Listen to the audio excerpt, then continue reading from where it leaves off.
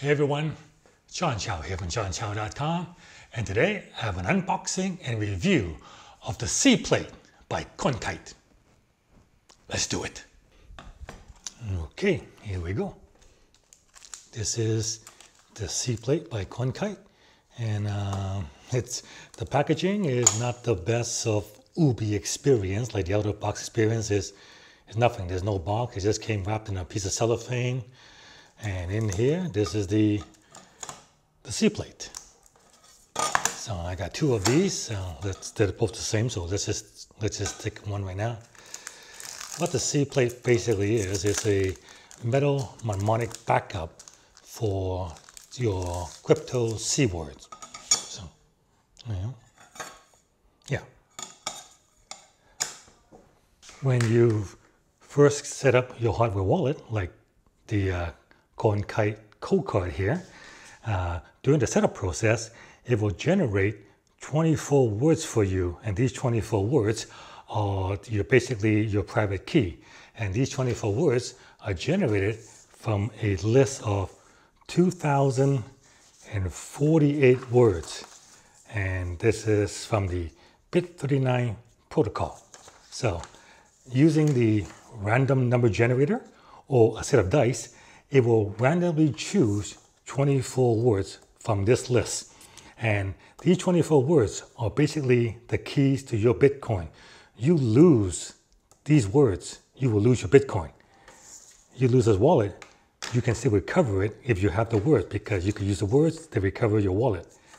So it is very, very important that you protect these words at all costs. And unfortunately, uh, virtually all crypto wallet, the only thing they give you to back up the 24 words is a piece of paper with the numbers 1 to 24 and you're supposed to write the words down. And this isn't really the best way to back up the word. So what a lot of Bitcoin maximums do is that instead of backing up the paper, they back it up to metal. And that is what this is for. So the makers of the Coldcard, the best a crypto wallet, Bitcoin wallet out there, also creates the SeedPlate. And the SeedPlate allows you to back up your 24 seed words on the stainless steel. So you'll for stainless steel. So there's 1 to 12, 12 words on one side, and 13 to 24. So 12 words on the other side, then combined to give you 24 words. So how you do, well, how you do it is, uh, basically 1 to 12 is this way, and then you see the letters A to Z on the vertical. And then you see uh, there's a total of four boxes. Each box represents the letter. So what you do is uh, you take a punch here, there's a center punch, and you, the first word, I mean the first letter, you find the first letter to your word. So let's just say the, uh, the, the very first word in the BIP39 word list is abandon, A-B a-N-D-O-N, abandon. So if assuming that's your first word, what you do is you would go to the A, like that, and then you would just basically push down the center punch and it will punch and make a mark on the A, so that you know that's A. And then the next letter will be a B, abandon. So you go to B on the second on the second square, and again you push down, and it will make an indent on the B. And then you go to A again, and then you choose the N, and that will get you your first four letter, and then you're on to word number two. But you're wondering, wait a minute, abandon has more than four letters. What about the remaining letters? It's okay. You only need the first four letter of a BIP39 word list because every single first four letters in this list are all unique. When you restore uh, the list onto a wallet, once you enter the first four letter, the Coldcard will automatically fill out the remaining letters. So in the case of abandon, just by entering A-B-A-N, it will automatically fill in the O-N and it will know that word is abandoned. So you don't need you don't need more than four characters. That's why it's only four boxes.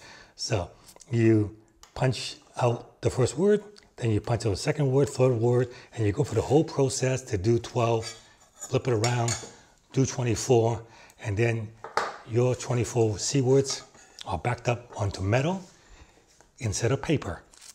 Something to keep in mind when punching out the, uh, the letters, it's, uh, it's one use. You do not, you cannot make a mistake because once you put the mark down, you can't erase it. So uh, be absolutely sure the letter you're punching is correspond to letter. Uh, instead of punching immediately, you may decide to mark mark it with a felt pen first, like you know, just take a felt pen and mark all the spots you post a punch, and then after you mark it, then use the center punch to punch it. Because uh, yeah, like I said, you you you punch the wrong spot, no no one do, no one do. Okay, uh, let's talk about what I like and don't like about the SeedPlate.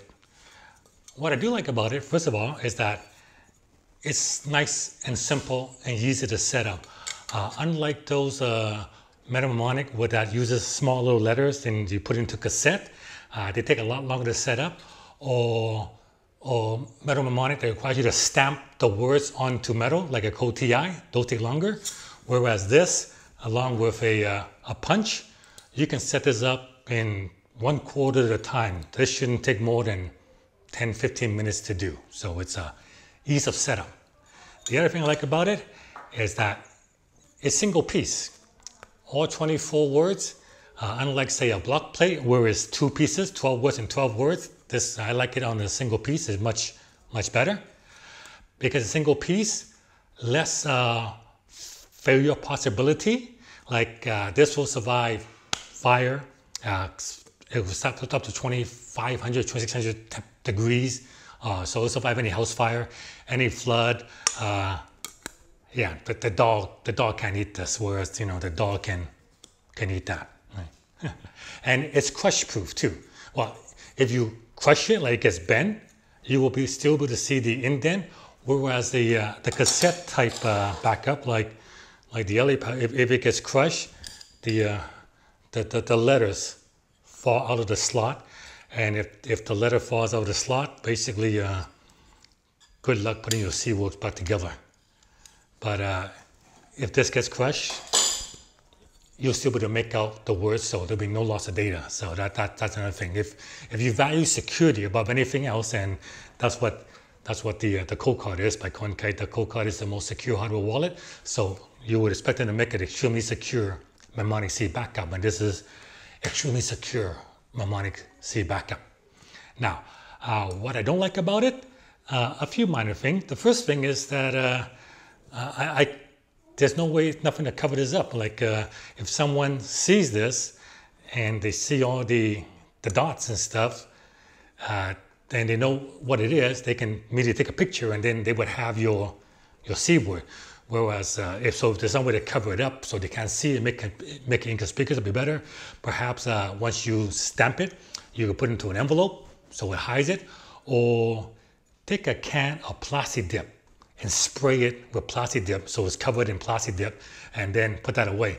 And so if you need it, you can just peel off the Plastidip and then you can review your word, do it that way. The other, and uh, I guess the, the last thing I don't like about it is it, it's the price. It's, it's rather expensive. It's $59.99, so 60 bucks.